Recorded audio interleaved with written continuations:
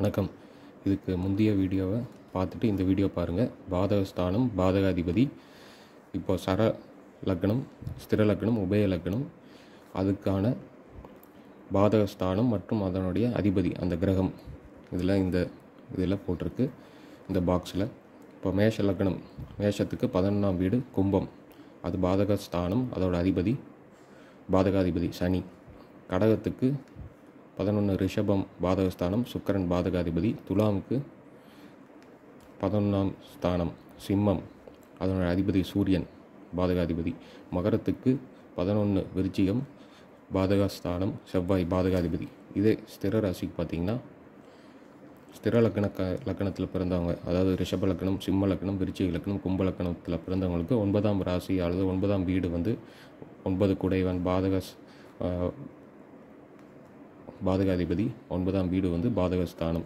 இப்போ ரிஷபத்துக்கு மகரம் சனி.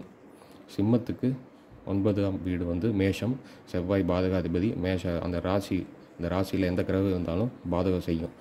பாதகஸ்தானம். விருச்சியத்துக்கு கடகம்.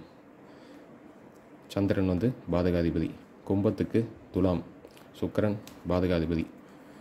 இது உபய ராசிக்காரர்களுக்கு அந்த கார்னர் லக்னக்காரர்களுக்கு கார்னர் ராசிக்காரர்களுக்கு அப்படியே ஏழாம் வீடு.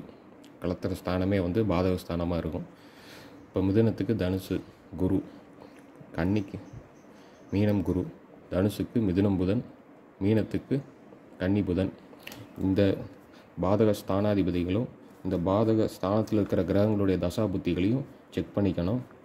அவங்கள வந்து இந்த பாதக பாதகாதிபதிகள் வந்து ஆறு எட்டு பன்னெண்டில் மறைஞ்சிருந்தால் எந்த பிரச்சனையும் பண்ண மாட்டாங்க. அதே பாதக ஸ்தானத்தில் நல்ல கிரகங்கள் அதாவது ஒன்று நாலு கேந்திரா கேந்திராதிபதிகள் அல்லது பாக்கியாதிபதி பூர்வ புண்ணியாதிபதி போய் மறைஞ்சால் பிரச்சனை பண்ணுவாங்க. இந்த தசா புத்திகளை பார்த்துக்கணும். நம்ம யூடியூப் சேனலை சப்ஸ்கிரைப் பண்ணுங்கள் ஷேர் பண்ணுங்கள் நன்றி.